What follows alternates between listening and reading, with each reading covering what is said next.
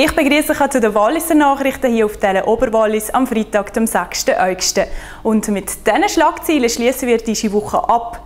Rücktritt vom Bundesrat Hans-Rudolf Merz, weniger Arbeitslose im Kanton Wallis und Kaufangebot für den Aluminiumkonzern Alcan.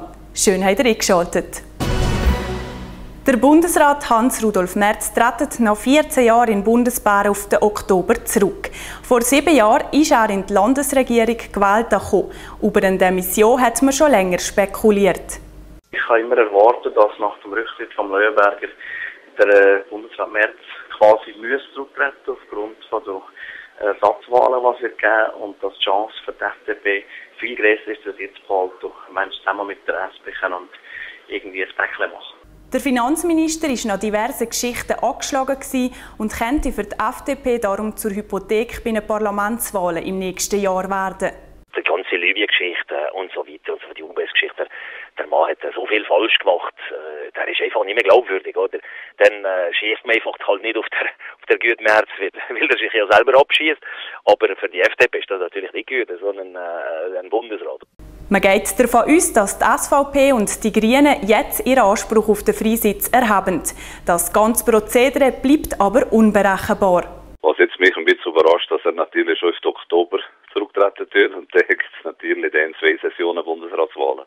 Ich hätte jetzt viel erwartet, dass er doch zurücktreten wird wie der ähm, Bundesrat Leuenberger, dass man das in einer Session hätte erledigen die Wahlgeschäfte. Im Juli ist die Arbeitslosenquote im Wallis von 3,6% auf 3,3% gesunken und liegt damit unter dem Schweizer Mittelwert. In den regionalen Arbeitszentren sind im Ganzen nur 4.487 Personen gemeldet. Das sind 491 weniger als noch Ende Juni. Auch die Kurzarbeit und die Anzahl der Langzeitarbeitslosen hat weiter abgenommen. Vor allem der Arbeitslosenrückgang im Baugewerbe begünstigt die Entwicklung. Auch der saisonale Rückgang im Gastgewerbe führt zu dem guten Ergebnis. Der einzige Anstieg verzeichnet man bei den arbeitslosen Studenten und Lehrlingen. Die Entwicklung ist aber normal, weil auf den Sommer viele ihre Ausbildung abgeschlossen haben und darum auf Jobsuche sind. Zermatt hat im Monat Juni 11% mehr Logiernächte. Japanische Gäste hat es 29% mehr und Gäste aus den USA hat es 44% mehr gehabt. Schweizer Gäste haben mehr im Matterhorendorf logiert, nämlich 5% mehr. Mit diesen Zahlen hat jeder dritte Gast im Wallis zu Zermatt übernachtet. Im Gegensatz zu diesen Zunahmen hat es wegen dem starken Franken 13% weniger deutsche Gäste gehabt. Für den Monat Juli rechnet die Tourismusorganisation in der Region mit rund 4% mehr Übernachtungen. Der Finanzinvestor Apollo hat Jahre nachdem Rio Tinto Alcan gekauft hat, ein verbindliches Kaufangebot für die Alcan gemacht.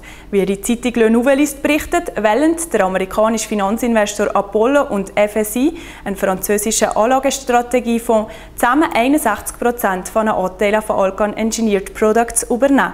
Die 1000 Arbeitsplätze, Chippis und Steck sind aber nicht in Gefahr.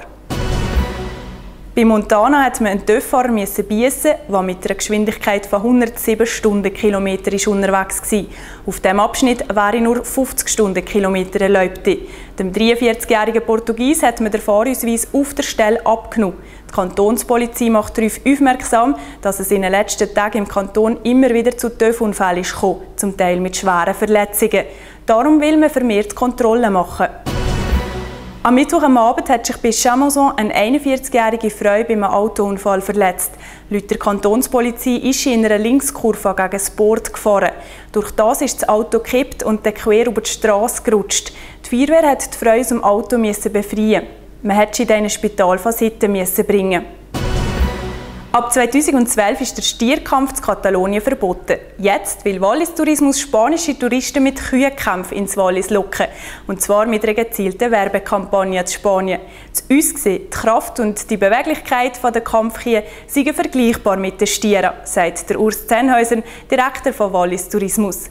Weil man bis jetzt positive Reaktionen von Spaniern auf das Projekt hat, will man den Kühenkampf im Wallis jetzt professionalisieren und zum internationalen Event vergrößern. Am Montag haben 56 neue Lernende in elf verschiedenen Berufen bei der Lonza Fisp ihre Ausbildung angefangen. Mit den neuen Lehrlingen bildet die Lonza zurzeit 185 Lernende aus. Es ist Freitag und das Wochenende steht vor der Bord. Wisst ihr schon, was ihr Samstag oder Sonntag macht? Wenn nicht, dann helfen kann vielleicht die Wetterprognose weiter. Schauen wir doch zusammen an, was der Petrus so für Plan hat.